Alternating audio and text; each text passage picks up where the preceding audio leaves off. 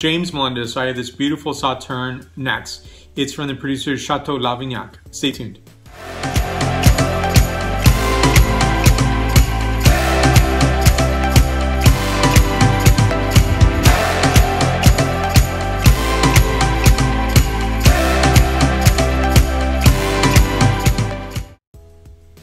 So here's what we have now. This is Chateau Lauvignac 375 milliliter format. Sauterne and uh, 2014 vintage, well 13% ABV. And uh, so this is a really handsome, gorgeous Sauterne. Now this is a composition of 85% Semillon, 10% Muscadelle, and 5% Sauvignon Blanc. So really, when you look at the whole entire when you look into the region, you're going to see Semillon is really that dominant uh, uh, wine grape variety that is really the lead partner.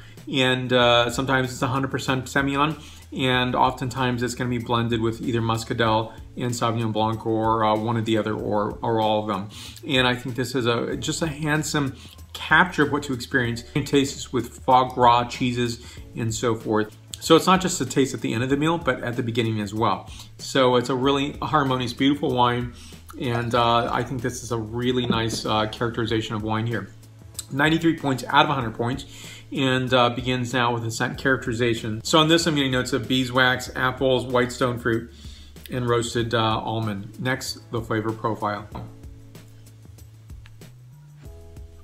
This, I'm getting notes of uh, roasted golden apple, uh, green fig notes as well, dates, uh, a bit of almond and floral notes as well.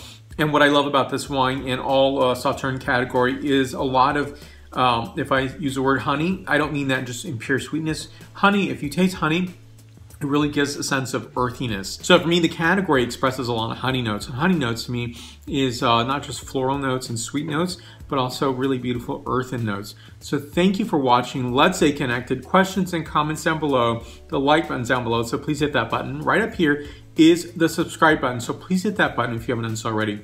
So thank you for watching. Let's stay connected. Many more wines to come. So as I'm doing here, tasting sweet wine, all styles, all uh, varieties, including Semillon, Sauvignon Blanc, and Muscadelle, and from all regions such as France. So thank you again for watching. Let's stay connected. Many more wines to come. I'll post those uh, videos right here and subscribe button's right up here. So please hit that button to see my latest videos.